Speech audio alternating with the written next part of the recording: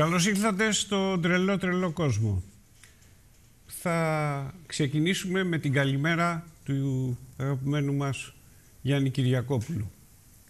Ε, χριστουγεννιάτικη ατμόσφαιρα, ε, μας τη μεταφέρει με το δικό του τρόπο. Είναι το καθημερινό σχόλιο στον τρελό τρελό κόσμο από τη ιστοσελίδα του αγαπημένου μας Κύρ. Και ας πάμε στην ειδησογραφία. Ε, αυτή τη στιγμή, όχι αυτή τη στιγμή, σε λίγη ώρα στη Νότια Αφρική θα συγκεντρωθούν ε, γύρω στους 100 ηγέτες από, από όλα τα μέρη της γης. Φίλοι και εχθροί από τον πρόεδρο Ομπάμα ως το Φρανσουά Ολάντ αλλά και τον ε, ηγέτη της Κούβας Ραούλ Κάστρο για την τιμητική επιμνημόσυνη δέηση που θα γίνει για τον Νέλσο Μαντέλα. Ε, ο κόσμος που πηγαίνει σε διάφορα μέρη που έχουν ανοιχτή βιβλία ε, συλληπιτηρίων εδώ βλέπουμε τον, α, τους απλούς πολίτες της ε, Αφρικής ε, ε, θα, όλοι δηλώνουν ότι θέλουν να συμμετάσχουν σε αυτή την τελετή που θα γίνει στο Ολυμπιακό στάδιο, ε, μάλλον στο στάδιο για, που έγινε το παγκόσμιο κύπελο και όπου για τελευταία φορά έκανε τη δημόσια εμφάνισή του. Στο, στο παγκόσμιο κύπελο του 2010 ο Νέλσον Μαντέλα ήταν η τελευταία φορά που ε, εμφανίστηκε στο κοινό και δέχτηκε το χειροκρότημα από τους 86.000 θεατές που χωράει το στάδιο. Τώρα ε, πάρα πολλοί έχουν συγκεντρωθεί απ' έξω και περιμένουν να ανοίξει τις πύλες. Ε, υπολογίζεται ότι είναι γύρω στους 3.500 οι αστυνομικοί ε, που θα επιβάλλουν την τάξη. Ε, τα δημόσια μέσα μόνο επιτρέπεται να χρησιμοποιούνται για να πας στο στάδιο έχουν κλειστεί οι δρόμοι και δεν μπορούν να πάνε ε, οι απλοί πολίτες αλλιώς. Αλλά μια και μιλάμε ε, για τον Έλσο Μαντέλα και αυτό, αυτή την τιμή που του κάνουν οι ηγέτες όλη τη γη θα ε, ήθελα να αφού βλέπουμε και ένα ε, άλλο βίντεο με μία φράση που έχει πει και έχει μείνει στην ιστορία. Όλα, λέει, μοιάζουν να είναι αδύνατα μέχρι να πραγματοποιηθούν. Αυτό ήταν και μια ευχή που είχε κάνει και κατόρθωσε και την πραγματοποίησε. Λοιπόν, ε, θα σας διαβάσω ε, έξι πράγματα που είχε πει ο Νέλσον Μαντέλα και έρχονται σε αντίθεση με αυτά που ξέρουμε ε, που ε, τα διεθνή μέσα, αυτά τα μέσα διεθνούς αποβλάκωσης όπως τα αποκαλώ, ε, μας έχουν φορτώσει και προσπαθούν να περάσουν. Λοιπόν, όταν είχε γίνει ο πόλεμος στο Ιράκ, ο Μαντέλα τον είχε χαρακτηρίσει πόλεμο του Αμερικανού, Αμερικανικού Ιμπεριαλισμού και είχε κατηγορήσει τον, τον, τότε πρόεδρο Μπούς ότι τον πόλεμο αυτό τον κάνει για το Ιρακινό πετρέλαιο. Είχε αποκαλέσει την ελευθερία από τη φτώχεια βασική αρχή των ανθρωπίνων δικαιωμάτων γιατί θεωρούσε τη φτώχεια ένα από τα χειρότερα κακά που συμβαίνουν στον κόσμο. Ωστόσο βέβαια δεν κατόρθωσε να απομακρύνει τους ε, ε, κατοίκους της ε, Νότιας Αφρικής που μια μεγάλη πλειοψηφία ζει κάτω από το όριο της φτώχειας. Όχι αυτό που λέμε στην Ευρώπη όριο της φτώχειας. Εκεί υπάρχουν άνθρωποι που δεν έχουν ούτε ένα δολάριο την ημέρα. Ε, είχε επικρίνει μάλιστα τον πόλεμο εναντίον της τρομοκρατίας και είπε ότι τρομοκράτης είναι αυτός ο οποίος ε, αποφασίζει κάποιος δυνατός να τον ονομάσει έτσι. Μην ξεχνάμε ότι τόσο ο πρόεδρος των ΗΠΑ Ρόλαντ Ρίγκαν όσο και η Μάργαρετ Θάτσερ αποκαλούσαν τον Νέλσον Μαντέλα τρομοκράτη. Αργότερα βέβαια του απονεμήθηκε το βραβείο Νόμπελ. Όπως τρομοκράτη είχαν αποκαλούσαν και τον Γιάσερ Αραφάτ για να πάρει και αυτό το βραβείο Νόμπελ. Ε, να μην φανταστούμε ε, κάποιους άλλους ε, τρομοκράτες να παίρνουν και αυτοί βραβείο Νόμπελ. Ο Μαντέλα επίσης έχει επικρίνει την, ε, το αμερικανικό καθεστώς ε, ε, ως ρατσιστικό γιατί λέει δεν είχε κατορθώσει να αποβάλει η αμερικανική κοινωνία τις προκαταλήψεις εναντίον των μαύρων. Ε, και μην ξεχνάμε ότι ο Μαντέλα ήταν φίλος με μερικούς από τους ορκισμένους εχθρούς των ΗΠΑ όπως ο, ο κουβανός ηγέτης Φιντέλ Κάστρο ή ο ηγέτης της Λιβύης Μουαμάρ Καντάφη. Και τέλος, ε, ο Μαντέλα ήταν υπέρμαχος των εργατικών ενώσεων και των εργατικών συνδικάτων. Υποστήριζε ότι ε, χωρίς αυτά δεν μπορεί να υπάρξει η ειρήνη εργατική. Και όταν είχε επισκεφτεί τις Ηνωμένες Πολιτείες είχε ζητήσει και είχε πάει στο, στο Detroit και ε, επισκέφτηκε την Εργατική Ένωση των ε, εργαζόμενων στην Αμερικανική Αυτοκίνητο Βιομηχανία η οποία δοκιμαζόταν. Ε, μια και είμαστε ε, στην Αφρική, δεν θα φύγουμε μακριά, θα ανέβουμε λίγο βορειότερα ε, και θα πάμε στην Κεντρική Αφρικανική Δημοκρατία όπου βρίσκεται σε εξέλιξη μια νέα στρατιωτική επέμβαση της Γαλλίας. Βέβαια, σχετική ηρεμία επικρατεί στην πρωτεύουσα της Κεντροαφρικανικής Δημοκρατίας Μπακουή μετά τη γαλλική στρατιωτική επέμβαση που ε, έχει στόχο να τερματιστούν οι σειράξεις μεταξύ μουσουλμάνων και χριστιανών. Βέβαια, οι χριστιανοί είναι κυρίως θύματα σε αυτή την ιστορία ε, δέχονται επισκέψεις από φανατικούς Ισλαμιστές, ε, ε, επιθέσεις δέχονται εκκλησίες και για μια ακόμα φορά η Γαλλία παίζει το ρόλο χωροφύλακα στην Αφρική σε αντίθεση όμως με το Μαλί που στόχευσε στην αντιμετώπιση τρομοκρατικής απειλής στην Κεντροαφρικανική Δημοκρατία επιδιώκει την προστασία του πληθυσμού από τις φαγές και την εμπαντοχυσία μιας εσωτερικής σύγκρουσης. Ανάμεσα σε χριστιανούς εδώ είναι, ολοφύρεται αυτή η κοπέλα που βλέπουμε ότι οι Ισλαμιστές τη σκότωσαν τον πατέρα και τον αδελφό. Ε, 200 Γάλλοι στρατιώτες πέρασαν σήμερα τα σύνορα με το γειτονικό Καμερούν για να προσθεθούν στο σώμα των 1.500 περίπου στρατιωτών που ήδη βρίσκονται στην πρωτεύουσα Μπαγκή.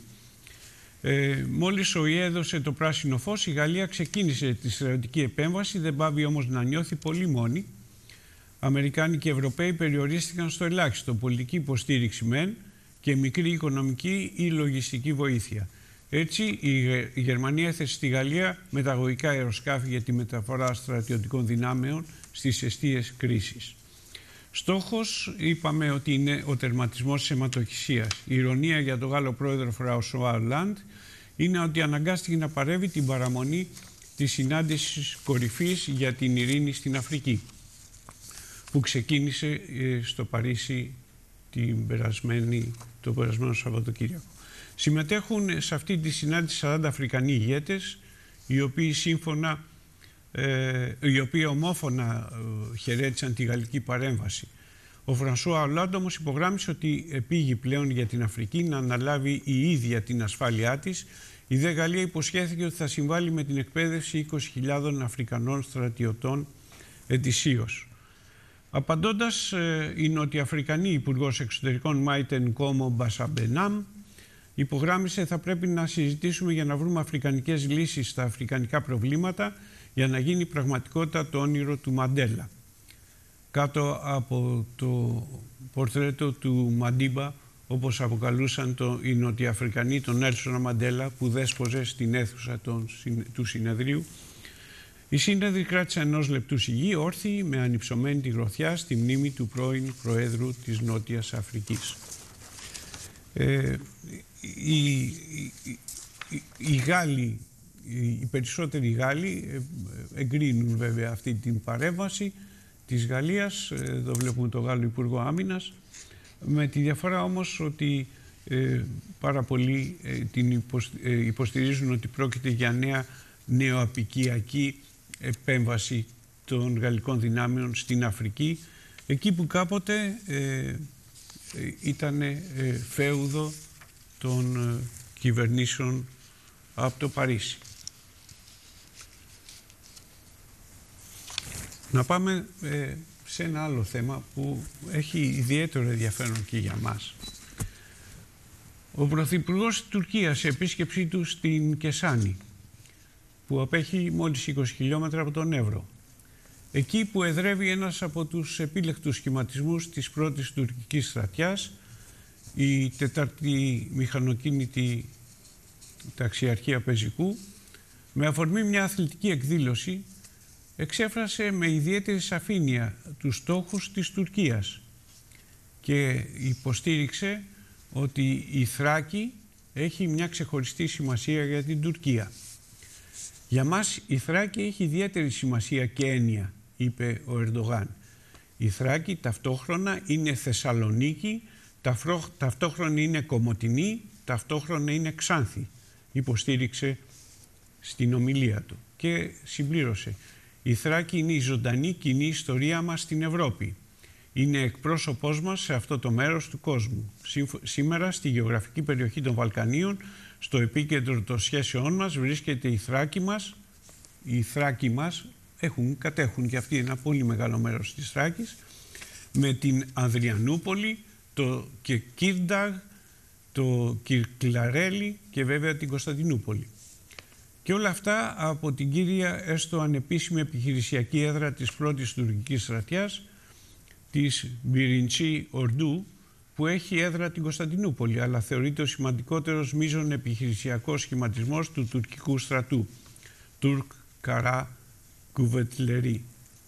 Η πρώτη στρατιά αναπτύσσεται σε βάθος στην Ανατολική Θράκη, έχοντας εγκαταλείψει τη γραμμή προκάλυψης, όχι όμως και την επιθετική διάταξή της, αναφέρουν ε, διαδικτυακοί τόποι. Η περιοχή της Ανατολικής Θράκης είναι γενικά παιδινή και διασχίζεται από δύο κύριους οδικούς άξονες. Το βόρειο που είναι Αδριανούπολη, Αρκαδιούπολη, Κωνσταντινούπολη και το νότιο άξονα που είναι Γέφυρα Κήπων και Σάνη, Σιλιβρία, Κωνσταντινούπολη. Ο τουρκικός στρατός έχει τοποθετήσει στην ε, Ανατολική Θράκη το δεύτερο σώμα στρατού το Κολορντού 2 στο νότο και το πέμπτο σώμα στρατού Κολορντού 5 κεντρικά με προσανατολισμό το βόρειο τμήμα του Εύρου. Πίσω από αυτό βρίσκεται το τρίτο σώμα στρατού του τουρκικού στρατού με έδρα την Κωνσταντινούπολη που αν και ανήκει στο νατοϊκό στρατηγείο έχει ένα βαθμισμένο ρόλο και αποτελεί την εφεδρεία της πρώτης τουρκικής στρατιάς.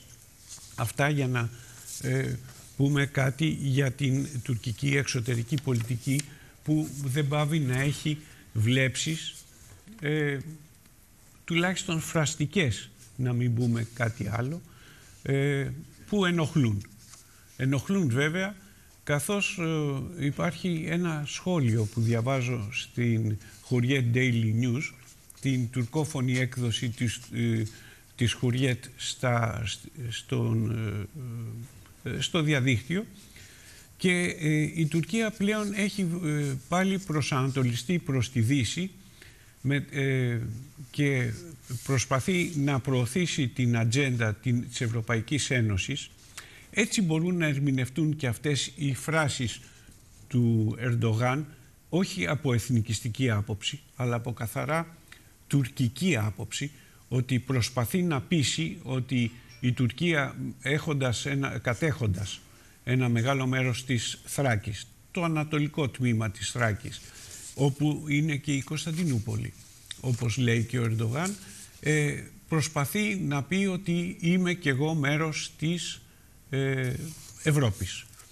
Ε, στις 16 Δεκεμβρίου ε, αρχίζει μια νέα διαδικασία της Τουρκίας ε, ε, στις συνομιλίες με την Ευρωπαϊκή Ένωση και ε, όπως πιστεύουν όλοι ο, ο Αχμέντα Βούτογλου που σκοπεύει να έρθει και εδώ ε, να πραγματοποιήσει ταξίδι ε, έχει παίξει κάποιο ρόλο ε, στην προσπάθεια αυτή και ε, είναι ο κύριος εμπνευστής της ευρωπαϊκής πολιτικής Τουρκίας. Ε, σύμφωνα με ε, μια συμφωνία που σκοπεύει να υπογράψει με την Ευρωπαϊκή Ένωση, η Τουρκία είναι πρόθυμη να δεχτεί μετανάστες οι οποίοι εισήλθαν παράνομα στην Ευρωπαϊκή Ένωση περνώντας από το έδαφος της. Σε αντάλλαγμα η Ευρωπαϊκή Ένωση θα διευκολύνει σε θέματα βίζας. Αυτό είναι ένα πολύ μεγάλο και από καιρό το επιδίωκαν οι Τούρκοι να, να πάψει να ισχύει το καθεστώς βίζας για να μπουν στην Ευρωπαϊκή Ένωση. Η Ευρωπαϊκή Ένωση όμως εδώ και καιρό πιέζει την Τουρκία να δεχθεί μετανάστες στο έδαφος της, οι οποίοι δεν εισήλθαν νόμιμα στην Ευρωπαϊκή Ένωση και οι οποίοι πέρασαν από το έδαφος της για να εισέλθουν σε ευρωπαϊκό χώρο, εννοώντας την Ελλάδα φυσικά, χωρίς να κατονομάζεται. Ο Τούρκος Υπουργός Εξωτερικών Αχμέντα Βούτογλου συμφώνησε στις Βρυξέλλες πριν δύο μέρες να προχωρήσει σε σχετική συμφωνία. Η υπογραφή της συμφωνίας θα γίνει στις 16 Δεκεμβρίου, όπως είπαμε, στην Άγκυρα.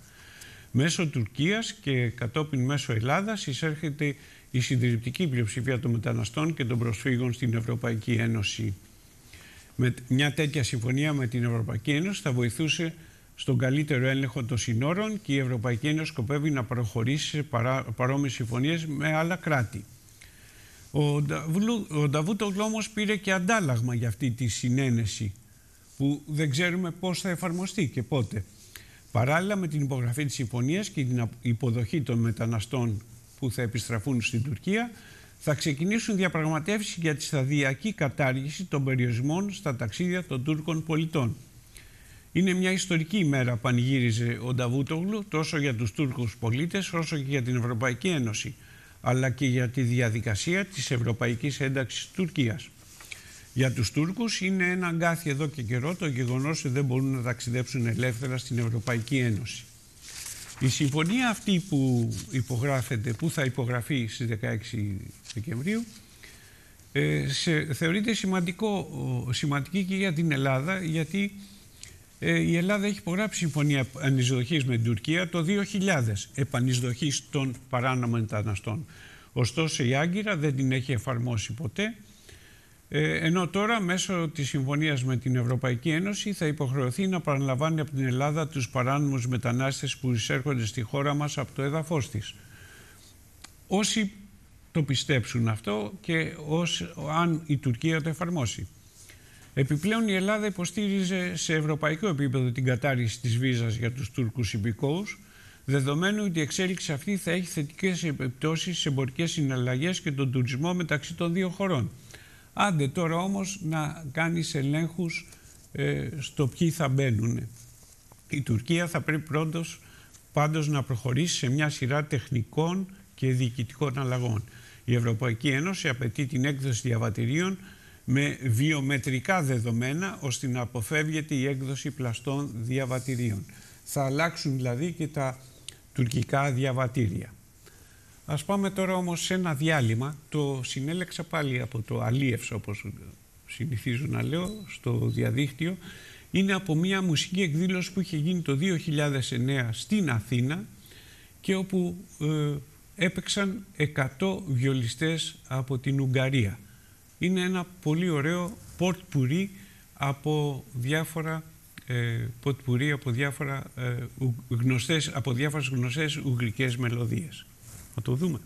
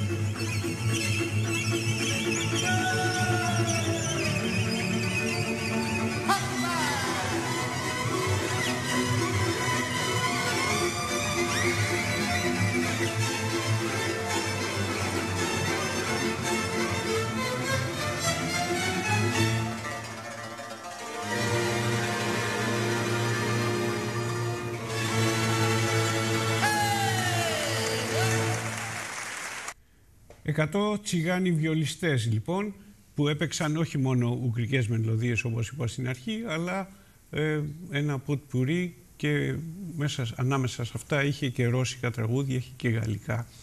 Είχε ό,τι ε, μπορούμε ε, να ακούμε έτσι πάρα πολύ ευχάριστα. Θα πάμε τώρα στη γειτονική Ιταλία, όπου ο Ματέο Ρέντσι θριάβευσε στις εκλογές του Δημοκρατικού Κόμματος και θέλει να αντικαταστήσει τώρα τον Ενρίκο Λέτα, τον Πρωθυπουργό της Ιταλίας. Αρχίζει η άσκηση πίεσης με στόχο αλλαγή φρουράς στην Πρωθυπουργία της Ιταλίας. Ο Ματέο Ρέντσι, ο οποίος πέτυχε τον στόχο του, είναι ο θριαβευτής των ανοιχτών εκλογών του Δημοκρατικού Κόμματος για την ανάδειξη του νέου γραμματέα με τελικό ποσοστό 68% ψήφισαν για την εκλογή του σχεδόν 3 εκατομμύρια Ιταλοί. Τα μηνύματα που έστειλε ο 38χρονος μεταρρυθμιστής, νέος γραμματέας των Δημοκρατικών, στην πρώτη ομιλία ήταν σαφή. Χρειάζονται αλλαγές στα συνδικάτα για να μην προστατεύονται αποκλειστικά όσοι έχουν μόνιμη εργασία. Η ανανέωση της ηγετικής ομάδας της αριστεράς θα είναι ριζική και η Ευρώπη δεν μπορεί να κοφεύει μπροστά στις μεγάλες ανάγκες των πολιτών της. Ο Ματέο Ρέντσι θέλει να γίνει πρωθυπουργός. Σύμφωνα με πολλούς αναλυτές, η εκλογή του στη Γραμματεία των Δημοκρατικών είναι ένας υποχρεωτικός συμβιβασμός, τον οποίο ο ίδιος επιδίωξε για να μπορέσει να αντικαταστήσει τον Ενρίκο Λέτα. Το θέμα είναι πώς και πότε θα πραγματοποιηθεί η αλλαγή φρουρά στο κυβερνητικό μέγαρο Παλάτσο Κίτζι στη Ρώμη. Αύριο το πρωί η Λέτα και Ρέτζι έχουν ορίσει μια πρώτη συνάντηση για να συζητήσουν τις μελλοντικές στρατηγικές τους. Ζητώ να μείνω στην Πρωθυπουργία τουλάχιστον μέχρι το τέλος της Ιταλικής Προεδρίας στην Ευρωπαϊκή Ένωση το 2014. Ε, αναμένεται να πει ο Ενρίκο Λέτα. Εγώ δεν θέλω να φθαρώ, οι, οι καινοτόμες προτάσεις μου δεν πρέπει να παλιώσουν. Θα απαντήσει ο, όπως αναμένεται ο Ρέντσι. Είναι ένα πολιτικό μπραντεφέρ που ξεκινά σήμερα και θα τελειώσει με τις επόμενες ε, βουλευτικές ετολές, ε, ε, εκλογές στην Ιταλία. Οι εκλογές για την ανάδειξη του ηγέτη του Δημοκρατικού Κόμματος απέδειξαν ότι στην πολιτική δεν είμαστε όλοι ίδιοι. Δήλωσε αμέσως μετά ο Ματέο Ρέντσι και ο οποίος θέλει την Ιταλία να μπορέσει να ξανατρέχει και να σταματήσει να είναι η ωραία κοιμωμένη της Ευρώπης, είπε ο επικεφαλής της μεγαλύτερης δύναμης της Ιταλικής Κεντροαριστεράς, που είναι και δήμαρχος στη Φλωρεντία. Ο Ματέο Ρέντσι ανακοίνωσε το κόμμα του θα ζητήσει την περικοπή των δημοσίων δαπανών για την κάλυψη των εξόδων των κομμάτων και του όλου πολιτικού συστήματος κατά ένα δισεκατομμύριο ευρώ και θα συμβάλλει με όλες του, τις δυνάμεις στην αλλαγή του εκλογικού νόμου ώστε να ξεπεραστεί ο ταυτόσιμος ρόλος της Ιταλικής Βουλής και της Γερουσίας. Αφήσαμε την Ευρώπη στα χέρια γραφειοκρατών που είναι ικανοί συνήθως να μας δείχνουν πολύ καλά τις διαφάνειές τους αλλά δεν καταλαβαίνουν ότι πίσω από τα νούμερα υπάρχουν άνθρωποι, πρόσθεσε ο Ρέντσι. Ο νέος γραμματέας των Δημοκρατικών, απευθυνόμενος σε μεγάλο αριθμό υποστηριχτών σε θέατρο της Φλωρεντίας, αναφέρθηκε επίσης στους μετανάστες της Λαμπεντούζα, στα 17 θύματα των νεροποντών της Σαρδινίας, στα δικαιώματα των Ιταλών και ξένων εργαζομένων που συχνά δεν τυχαίνουν σεβασμού. Θα αποδείξουμε ότι είμαστε μεταρρυθμιστές καταφέροντας να, να μην είμαστε βαρετοί. Ε, ξέρουμε να ζεσταίνουμε τις καρδιές. Αυτό δεν είναι το τέλος της αριστεράς, αλλά μόνο μιας ηθήνουσας τάξης της αριστεράς, είπε ο Ματέο Ρέντσι ο οποίος ε, είπε τέλος ξεκινάμε μια νέα πορεία η γενιά που ήταν στο γυμνάσιο όταν έπεσε το τείχος του Βερολίνου αναλαμβάνει το πιδάλιο. Θα ζητήσουμε τη βοήθεια των γυρεότερων αλλά η ευθύνη είναι τώρα δική μας είπε ο νέος γραμματέας των, του Δημοκρατικού Κόμματος Ματέο Ρέντσι.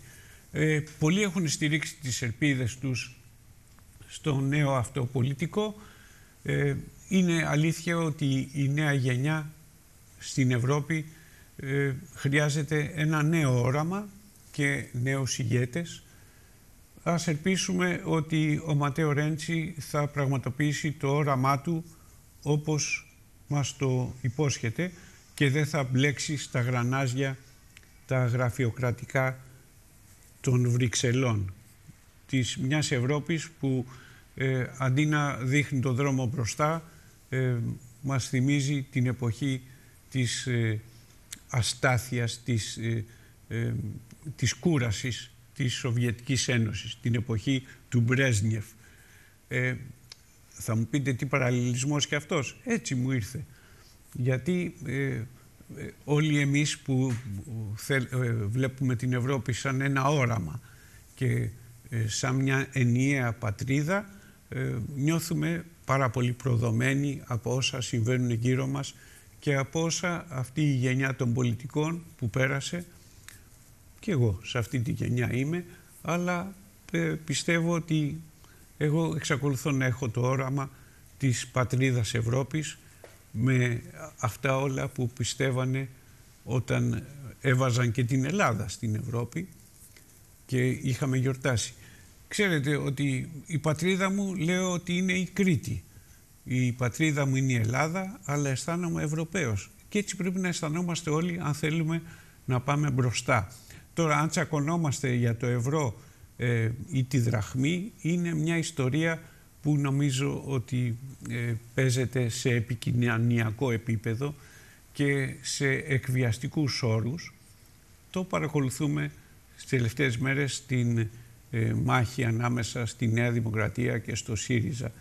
Ε, δηλαδή, ε, ο ένας κατηγορεί τον άλλον για, τον, για την πολιτική που εφαρμόζει. Μακάρι να έρθει ο ΣΥΡΙΖΑ και να εφαρμόσει μια άλλη πολιτική που θα είναι ανεκτή και στους ε, Ευρωπαίους ε, γραφειοκράτες που μου θυμίζουν κάτι που οι νεότεροι δεν θα το ξέρουν, εκείνους με τις μαύρες μανσέτες που συναντούσαμε στις δημόσιες υπηρεσίες που φορούσαν τις μαύρες μανσέτες τους πρόλαβα εγώ ακόμα και στην ΕΡΤ τότε που είχαμε τα πολλά καρμπών γιατί δεν υπήρχε η δυνατότητα που δώσαν τα κομπιούτερς και χρειαζόταν να πάει ένα αντίγραφο από εδώ και από εκεί και φορούσαν οι παλιοί δημοσιογράφοι μαύρες μανσέτες για να μην λερώνεται από το καρμπόν.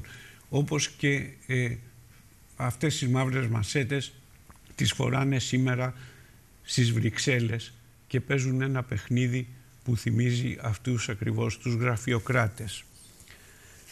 Θα πάμε σε ένα διαφορετικό θέμα τώρα ε, και μια και θυμήθηκα το Κρεμλίνο ε, έχω πάει πολλά ταξίδια στη Μόσχα και επί Σοβιετικής Ένωσης και κατόπιν. Επί Σοβιετικής Ένωσης ε, είχα πάει σε αυτό το εντυπωσιακό πολυκατάστημα που είναι ακριβώς απέναντι από το μαυσολείο του Λένιν. Είναι το περίφημο πολυκατάστημα Γκουμ. Όταν ξαναπήγα μετά τη Σοβιετική Ένωση, αρκετά χρόνια, πριν πέντε χρόνια πρέπει να ήταν, πέντε-έξι χρόνια, ε, ε, με αφορμή ένα δημοσιογραφικό συνέδριο και πήγα στο Γκουμ, μου είχε κάνει εντύπωση γιατί ε, εκεί που ήταν ε, τα χαρακτηριστικά σοβιετικά προϊόντα, τώρα έβλεπες όλες τις μεγάλες φίρμες μόδας δεν έφτανε αυτό. Στο Κρεμλίνο ξαφνικά εμφανίστηκε και αυτό το τεράστιο μπαούλο. Ήταν μια διαφήμιση της Λουί Βιτών. Βέβαια, το, από το Κρεμλίνο, ε, από, ε, κοιτάξτε να δείτε, αυτό είναι το περίφημο σύμβολο της ε, συνεργασίας. Έχει τραβηχτεί η φωτογραφία έτσι, ώστε να φαίνεται ότι είναι πάνω, σαν βάθρο, έχει το Louis Vuitton, το μπαούλο αυτό Βέβαια το Κρεμλίνο απέτησε να αποσυναρμολογηθεί το γιγαντίο μπαούλο με τα χρώματα της γαλλικής μάρκας πολυτελείας Louis Vuitton που είχε εγκατασταθεί στην κόκκινη πλατεία. Ε, κοιτάξτε να δείτε, είχαν φτάσει στις διαφημίσεις να χρωματίσουν ακόμα και το μαυσολείο του Λένιν με τα χρώματα του, του μπαούλου, με τα χρώματα του Louis Vuitton. Ε, εδώ βλέπουμε ένα φιλμάκι βγάλει να, να δούμε. Κοιτάξτε να δείτε πόσο τεράστιο ήταν αυτό το μπαούλο και το Κρεμλίνο ζητήθηκε να απομακρυνθεί γρήγορα. Το ύψος 9 μέτρων και μήκους 30 μέτρων περίπτερο που έφερε το περίφημο έμβλημα LV. Η κατασκευή η, η οποία εγκαταστάθηκε ανάμεσα στα τείχη του Κρεμλίνου και το περίφημο εμπορικό κέντρο Γκουμ με την ευκαιρία της 120ης επαιτίου από την ίδρυση του οίκου μόδας κρύβει μέρη και τον καθεδρικό ναό του Αγίου Βασιλείου που βλέπουμε στο βάθος και τους χρωματιστούς θρούλους του. Το ζήτημα της διάλυσης αυτού του περιπτέρου, το οποίο είχε προκαλέσει πολύ θόρυβο, λύθηκε. Οι οργανωτές αρχίζουν να το αποσυνορμολογούν, δήλωσε μερικές ώρες αργότερα εκπρόσωπος της Δημαρχίας της Μόσχας. Αλλά από το πολυκατάστημα Γκουμ που είχε ανακοινωθεί υποζήτησε από τη Louis Vuitton να προχωρήσει γρήγορα στην αποσυναρμολόγηση εξαιτίας της αγανάκτησης ενός μέρους της κοινωνίας και του γεγονότος ότι η κατασκευή ξεπέρασε τις διαστάσεις που είχαν εγκριθεί. Η απόφαση αυτή λύθη ενώ το μπαούλο, το οποίο βρισκόταν εδώ και καμιά δεκαριά μέρες στην πλατεία, προκάλεσε σήμερα καταιγισμό επικρίσεων από βουλευτές και εκπροσώπους της κοινωνίας των πολιτών. Είναι μια φρικτή κατασκευή, είχε πει η Λουντμίλα, μια συνταξιούχος που έκανε βόλτα στην κόκκινη πλατεία, αλλά και ο, για τον τείχον ένα τριαντάρι το περίπτερο είναι τερατώδες και ενοχλητικό. Στο ίντερνετ ένα φωτογραφικό μοντάζ που κυκλοφόρησε δείχνει το μαυσολείο του Λένι που βρίσκεται στην ίδια πλατεία διακοσμημένα με τα χρώματα του Λουί Βιτόν. Μπροστά στο σκάνδαλο, το Κρεμλίνο και η Δημαρχία απέριξαν οποιαδήποτε ευθύνη. Το Γκουμ διευκρίνησε σε ανακοίνωσή του πως η κατασκευή είχε ε, είχε δοθεί η άδεια για την κατασκευή. Εδώ βλέπουμε τώρα τον πρώην ε, κάποτε ηγέτη της Σοβιετικής Ένωσης, εκείνος που ήταν ο τελευταίος που έκλεισε την πόρτα και ε, διαλύθηκε η Σοβιετική Ένωση. Ο Μιχαήλ Γκορμπατσόφ λοιπόν είχε δεχτεί να διαφημίσει και αυτός τη Λουί Βιτόν. Είχε διαφημίσει, θα μου πείτε πιο πριν, και την Pizza Hut. Αλλά δεν πειράζει. Ε, τιμωρήθηκε από τους ε, Ρώσους πολίτες που ουδέποτε του επέτρεψαν να επιστρέψει στην πολιτική. Όταν είχε βάλει υποψηφιότητα, είχε δει μόνο, φαίνεται, κάτι, την ψήφο του και των συγγενών του.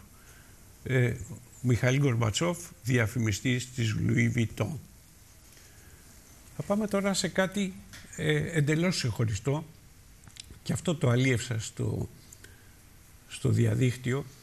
Είναι ε, μία πτήση που κάνουν ε, σοβιετικοί πιλότοι από ένα, ε, ένας ε, πρώην σοβιετικός πιλότος με ένας μήνος επιδείξεων, Ρώσοι πιλότοι σήμερα. μου έκανε εντύπωση, γιατί βέβαια εγώ δεν νιώθω και μεγάλη άνεση όταν μπαίνω στο αεροπλάνο, αλλά πολύ θα ήθελα να, να νιώσω αυτό που νιώθουν αυτοί οι πιλότοι.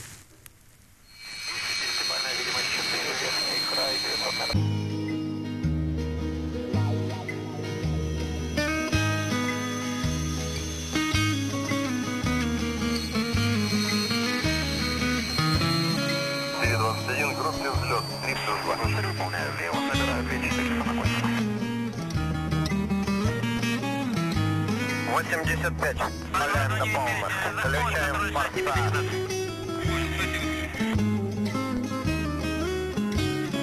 Будет косая влево. Косую влево. Начали.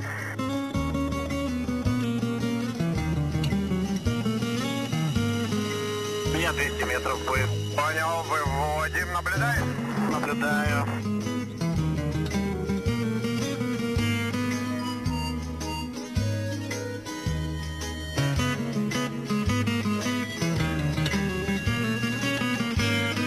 Плавно пошли вправо. 400 метров высот.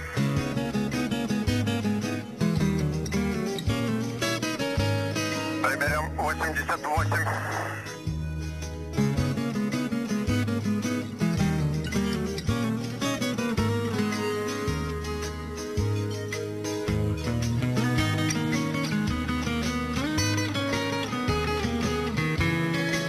Пускаем тормоза.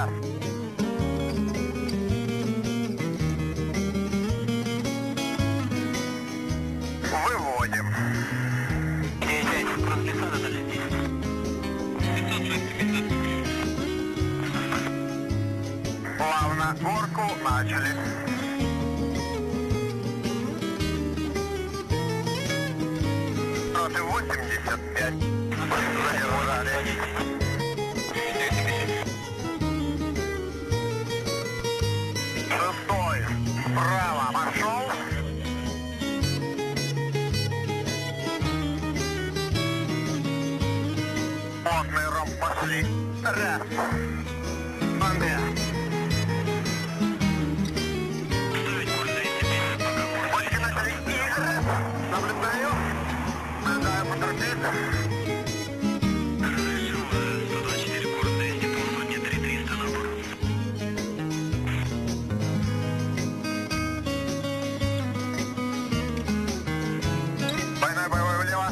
Выписали. Выводим.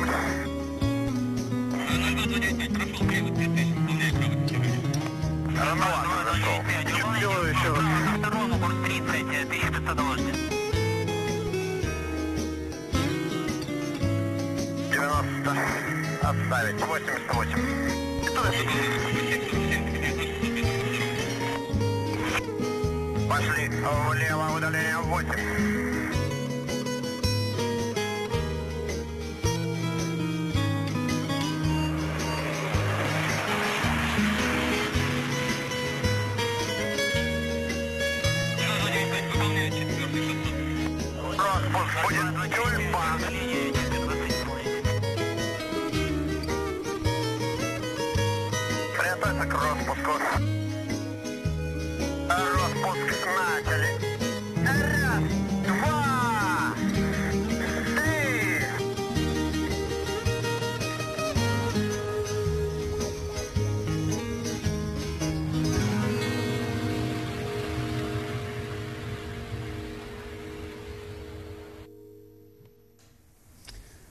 Μετά από αυτή τη χαμηλή πτήση και όπως είπε και ο Ανέστης από τους εθέρες στον αέρα ε, θα πάμε ε, θα- σε μια συνέχεια του νομισματικού ζ- ζητήματος που είχαμε αναφερθεί προηγουμένως. Μην νομίζετε, ε, έχουμε συνηθίσει να ο- ομφαλοσκοπούμε και να νομίζουμε ότι η συζήτηση για το ευρώ απασχολεί μόνο την Ελλάδα του σήμερα. Το ευρώ ήταν ένας πρώιμος τοκετός. Θα έπρεπε να γεννηθεί μετά από την πολιτική ένωση της Ευρωπαϊκής Ένωσης. Τώρα όμως το κοινό νόμισμα υπάρχει και η πολιτική ένωση βρίσκεται κάπου μακριά. Είναι λόγος για την αποτυχία την νομισ- της νομισματικής ένωσης; Αυτά τα ερωτήματα υπέβαλε ο Γερμανός πρώην καγκελάριος Helmut Kohl, ένας α- από τους, ε, αυτούς που είχαν θεωρηθεί πατέρες του ευρώ δεν επιθυμούσε την νομισματική ένωση χωρίς να προηγηθεί η πολιτική ένωση. Αλλά όπως ξέρουμε το Ευρωπαϊκό Σύνταγμα ουδέποτε εγκρίθηκε, επικράτησαν οι, οι μικρο, μικρονοϊκοί εθνικισμοί και αυτή τη θέση όμως δεν μπόρεσε να την περάσει στην Ευρώπη για ευνόητους λόγους όπως υποστηρίζει και ένας ε, ε, ο Μίχαελ Χίτερ, διευθυντής του Ινστιτούτου Γερμανικής Οικονομίας στην Κολονία. Ε, Υπάρχει ανυπαρξία μιας ευρωπαϊκής κοινή νόμης και τις δυσκολίες δημοκρατικής νομιμοποίησης των Ευρωπαίων πολιτών. Όπως ε, αναφέρει ο Γερμανός οικονομολόγος, πιστεύει ότι σε απότερο χρόνο δεν πρόκειται να επιτευχθεί ο στόχος της πολιτικής ένωσης, τουλάχιστον όχι υπό τη μορφή μιας Ευρωπαϊκής Ομοσπονδίας με την κλασική έννοια του όρου.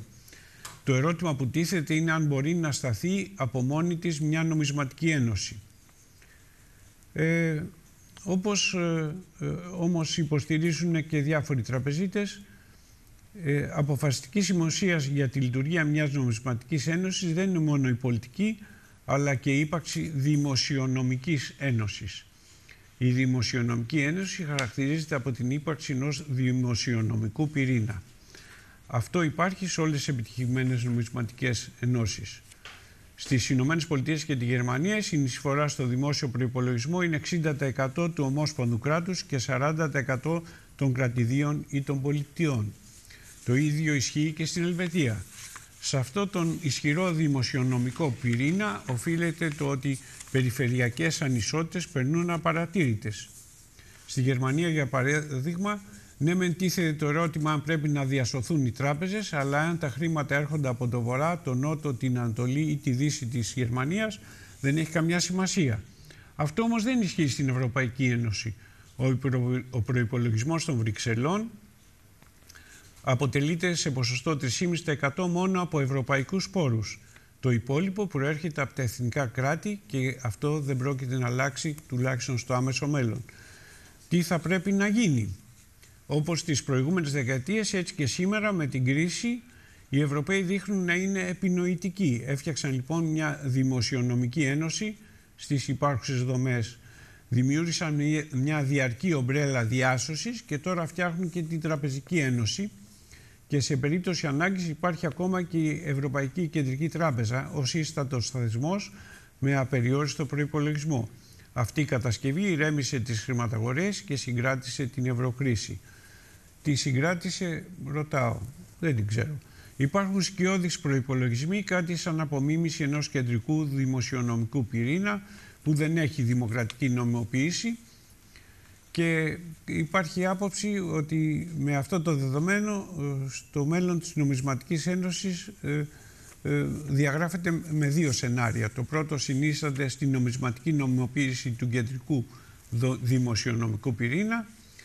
Την ίδια ώρα οι προϋπολογισμοί των κρατών μελών θα εξηγένονται και η ανταγωνιστικότητά τους θα ενισχύεται. Το δεύτερο σενάριο ε, ε είναι ε, να ενισχυθούν οι φυγιόκεντρες δυνάμεις με επακόλουθο την έξοδο από την Νομισματική Ένωση. Όλο το οικοδόμημα θα έπεφτε σαν χάρτινος πύργος με τεράστιο κόστος, κάτι που δεν πρέπει να βλέπουμε σαν ταμπού υποστηρίζουν και Γερμανοί τραπεζίτες. Εάν η απόφαση είναι προς την, η απόφαση είναι προς την κατεύθυνση απομάκρυνση από την παραπέρα πολιτική ευάθυνση, τότε θα πρέπει να εξετάσουμε το κόστος της διάλυσης της νομισματικής ένωσης και να σκεφτούμε δρόμους για το πώς θα την τελειώσουμε. Νομισματική ένωση χωρίς ένα μίνιμουμ πολιτικής ευάθυνσης δεν μπορεί να λειτουργήσει. Και οι Γερμανοί τραπεζίτες επανέρχονται δηλαδή στην άποψη του Helmut Kohl. Τώρα, επειδή έχουμε φτάσει σε αυτό το σημείο που ε, συζητιέται το θέμα της νομισματικής ένωσης όχι μόνο εδώ αλλά και στη Γερμανία. Α, σας διάβασα ένα κομμάτι από, την, από ένα δημοσίευμα της Deutsche Welle. Θέλω να, να σκεφτούμε ε, μην τυχόν πρέπει να αρχίσουμε να χορεύουμε καραγκούνα. Έχουμε την καραγκούνα να χορέψουμε για να πούμε τι θα γίνει με μας εδώ πέρα τους ταλέπορους που αγωνιζόμαστε να κρατηθούμε από το ευρώ, να γυρίσουμε στη δραχμή, να πάμε σε ένα μισό ευρώ δραχμή και όλα αυτά τα προβλήματα που απασχολούν τα κόμματα χωρίς... Ε, είναι αυτό που λέμε τι να τα κάνεις στα ευρώ όταν δεν έχεις φράγκο. Έτσι, καραγκούνα λοιπόν και θα τα πούμε πάλι αύριο. Γεια σας.